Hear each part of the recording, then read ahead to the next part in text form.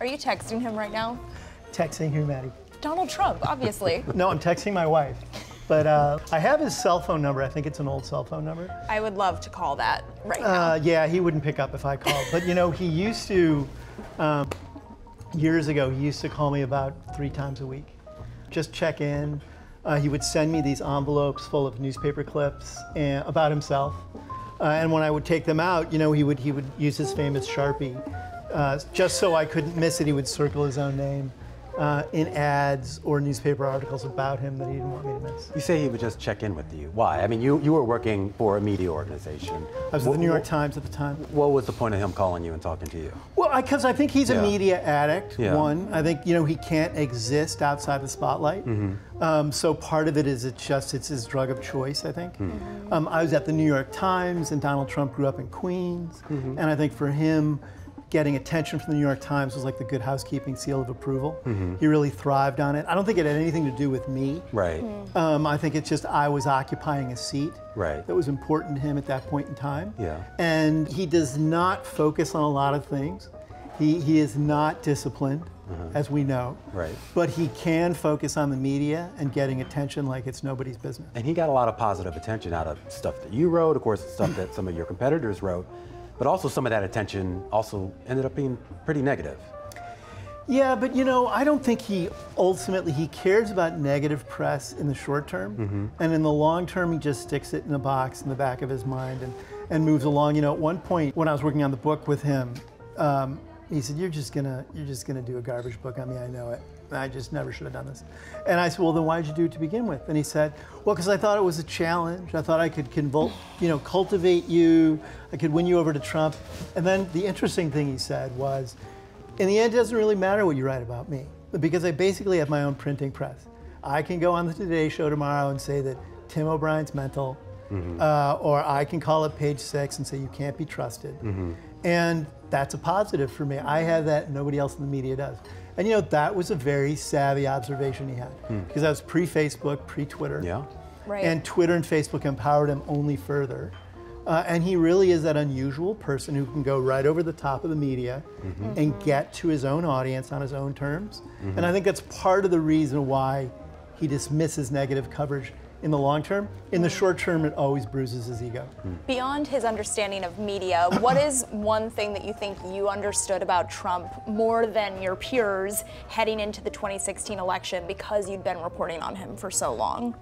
Um, that basically he was like the crypt keeper, and uh, uh, you know he was going to open this door, and all of these monsters were going to come running up from the basement, and that he really didn't care. He could unleash those on the American public and live with it. What did that look like, though? What do you, what do you mean by that? Uh, I think you know. I think Donald Trump weaponized racism and anti-institutionalism and division in the service of his own candidacy and the acquisition of power, and he did it to great effect.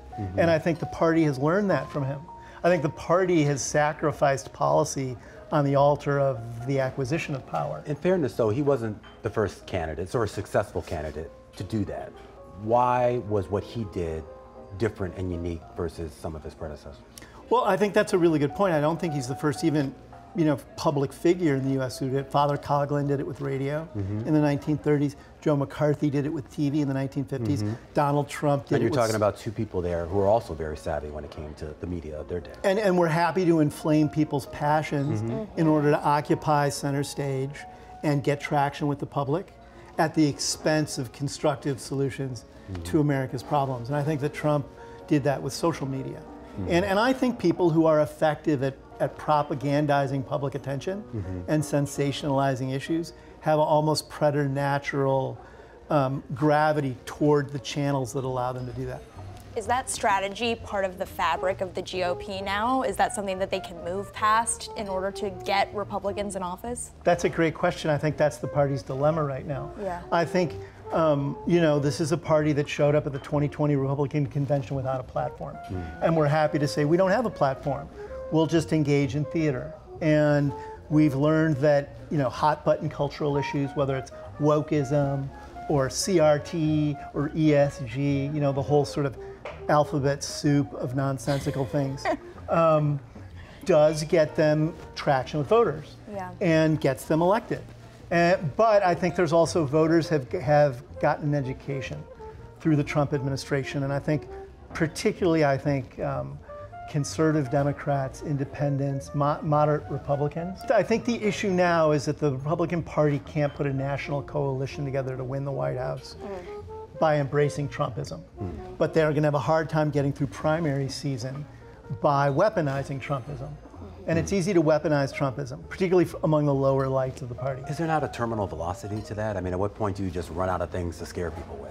There, there may be, but I don't think that ends until mm-hmm. you know you hit that terminus, mm-hmm. and and and they haven't hit it yet. Mm-hmm. Um, I think, and I think there's people waiting in the wings who are trying to find better ways of crafting Trumpism Right. to acquire power. Ron DeSantis, Josh Hawley, Ted Cruz, et cetera, et cetera. But you make that point here about what works in the primary season with regards to just getting your base, your party to vote for you.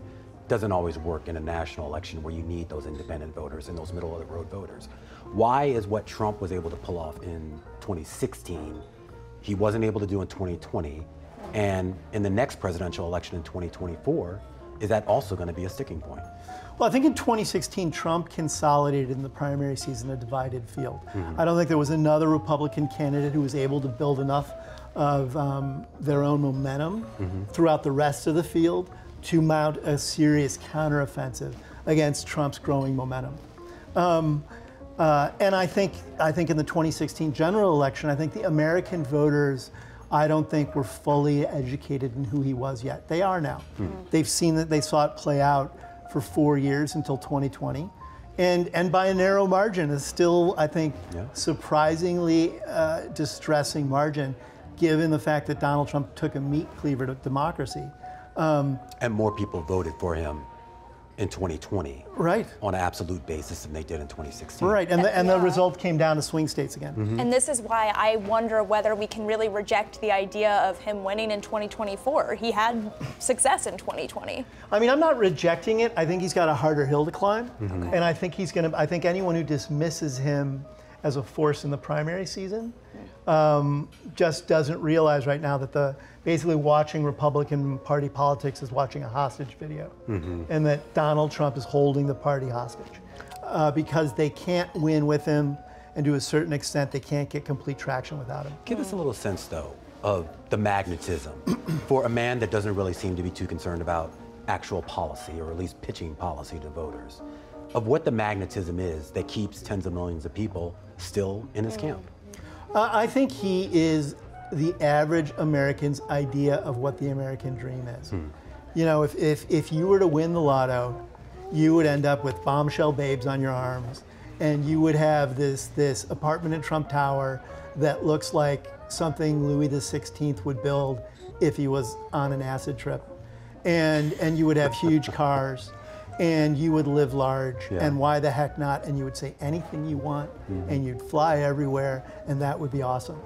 And he revels in that, mm-hmm. and it's who he is. He's authentic. He's in his zone, mm-hmm. and and the people who love him dig that. But they also find out that it also means that you know you you want to torch the Constitution. Yeah, I mean, I dig that from a professional boxer or you know an actor or something. But Well, but that's who you- he is. He's a okay. sti- he's a celebrity. Yeah. He's he is he is probably now the most famous celebrity who's ever lived. Yeah. He's the star of the American psychodrama mm-hmm. that is still unfolding. And mm-hmm. and the lesson of Donald Trump is he says as much about us as he does about himself. Where are we now in that psychodrama? With the Ron DeSantis, with the Josh Hawley, with all of these people now vying to become the Republican candidate in the next presidential election, Yeah. and of course Trump standing in the corner saying, "This is still my my crown." Yeah, you know, like there there will never be the end of a season with Donald Trump. He mm-hmm. won't let the show get canceled. Mm-hmm. You know, at one point he and I he and I were on his jet. He used to screen movies for me, and he really loved Sunset Boulevard. Sunset Boulevard. Okay, I Yeah. hear this. All right. Not And he and I there's were this, on his there, we were sitting there, and there's this scene in Sunset Boulevard where Norma Desmond yeah. um, is sitting next to William Holden on the couch, and, her, mm-hmm. And, and they're watching one of her movies, and she gets outraged that she's no longer famous. And she stands up in the light of the camera and says, If they've forgotten who a star is, well, I'll teach them. I'll teach, you know, basically said, I'm not forgettable. And anybody who thinks I'm forgettable, I'm going to teach them a lesson. Yeah. And Trump leaned over and he goes, This is such a cool scene. and and that's basically he is the guy telling America Yeah. that the Trump show has multiple seasons. Okay. And don't you think you're canceling it because I'll be back. But what if he's in we should- we prison? should- yeah, we should point out that at the end of that movie, uh, Norma Desmond goes to prison and William Holden is dead in a pool uh, in the backyard. But but okay, I put your You're so analogy. negative, I get it. Ah, You're you so know, just- pessimistic. Just, pointed it out. Yeah. Okay. We are a fact-driven show here. well, I have I have two. We could go in a lot of Yeah. directions from here. Yeah. Um, I, I want to start on lessons for other candidates. Ron DeSantis is a big rival of Trump's that's coming up right now. Do you think that he is the future kind of candidate vessel for Trumpism? Well, I think I think there's a lot of candidates who want to be the future vessel of Trumpism. It, it's easy to discount Donald Trump because he's ignorant and undisciplined, but he has authentic charisma, and and and he has an authentic hold on the American a certain sector of the American imagination. Uh, Ron DeSantis is going to be challenged on I think a national campaign trail to convince voters that he's not an oddball. He's a very eccentric man. He can't make eye contact. He, doesn't doesn't, like warming up a room. He doesn't like to shake hands. Um, and I think politicians who can't forge authentic emotional connections with their voters are doomed, no matter how smart they are or how good a policy platform they have. So then, though, on the flip side, what is the lesson for Democrats? What is a Trump tactic that they need to take on to stay in the White House? Well, I mean, I think every party has to have great candidates, and there's, you know, Joe Biden has a lot of flaws. Uh, you know, he is not articulate. Uh, he he he is, has a low favorability rating. Um, he's had pretty, I think, almost perfect timing and sensibility around policy, and and I think he showed the Republicans that at the midterms. But you know, he's going to be a much older man in in, in 24. Um, I don't think that Kamala Harris is a viable successor, and I don't think the the Democrats have cultivated younger, newer candidates or another field to step in. And I think you know he's a he's a president right now, Biden, who's just come strong out of a midterm. That's going to be hard for the party to say step aside. Is age going to be a big factor in this election? I mean, you have Biden, basically 80, and let's say Trump, for some reason, gets the nomination. He's basically 80 as well. Does Yeah. that become an issue? You mean like if if basically the White House is a retirement home? Is that an issue for America? Yeah, that's, one way to totally an it, issue because the Congress Yeah. is populated by geezers. Yes. And if you have the White House populated by geezers, Yeah. uh, then basically you're not going to have, uh, I think, a policy platform or a connection with voters that is anything but geezerish. Okay, one sentence answer. Who takes the White House in 2024 if you have to bet now? Joe Biden. Really? I don't think it'll be Donald Trump, but I look. I didn't think he'd win in 2016, so Yeah. don't bet money on me. Man. Well, uh, can I push back on that though? I mean, go through some of the other potential Republican candidates here. Uh, whether you're talking about a Mike Pompeo, a Nikki Haley, a Mike Pence, if you will, DeSantis, yeah. DeSantis, of course, as well. You don't think any of them have a viable? No, I, th- I think I, I. I, I have a lingering thought that Ron DeSantis could melt on the public stage, but I think he's a very strong candidate. I think Nikki Haley could be a strong candidate. I do not think Mike Pompeo or Mike Pence are strong candidates. They're just junior jammers. They're not ready for this. Um, and I don't, but I don't see the Dems as having um, somebody waiting in the wings if Biden steps down, who can sprint into there. You know, possibly, you know, Gavin Newsom. Gavin Newsom. Yeah, Yeah. yeah. People are going to like him. I mean, people in California don't even like him. Uh, you know, I think candidates sell themselves at a national level during a presidential election mm-hmm. that gives them a little bit of escape velocity from their past. A little bit. Yeah. But again, I could be totally wrong.